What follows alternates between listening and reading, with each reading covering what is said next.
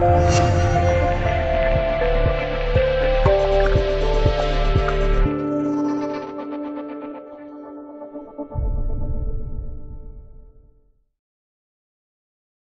月七日，李明博出庭受审。韩联社海外网八月七日电，据韩联社报道，今天七日上午，七十七岁的韩国前总统李明博在囚车押送下，再次前往首尔中央地方法院受审。此时距离他出院不过三天时间。年事已高且健康不佳的李明博明显体力不支，他被拍到在狱警搀扶下，垂着头。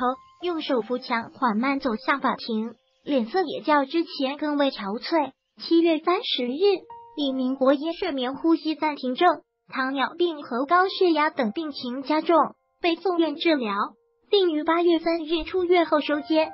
根据报道，五月二十三日，李明博初次受审以来，曾以健康恶化为由，多次向法院申请庭审延期举行。然而，法院并不买账。要求李明博必须出席全部庭审。五月二十八日，李明博曾对前来探视的律师大发脾气：“我的身体都这样了，法院就不能理解吗？”李明博被收押已有近五个月的时间。今年三月二十二日，韩国法院签发对李明博的逮捕令。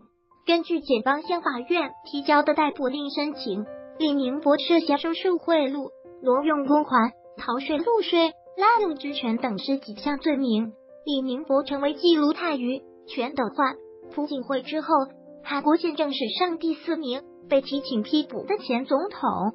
四月九日，韩国检方以十六项指控正式起诉李明博，包括涉嫌受贿一百一十亿韩元（约合六千四百八十六万元人民币）、贪污三百五十亿韩元（约合二点一亿元人民币）等。有分析认为。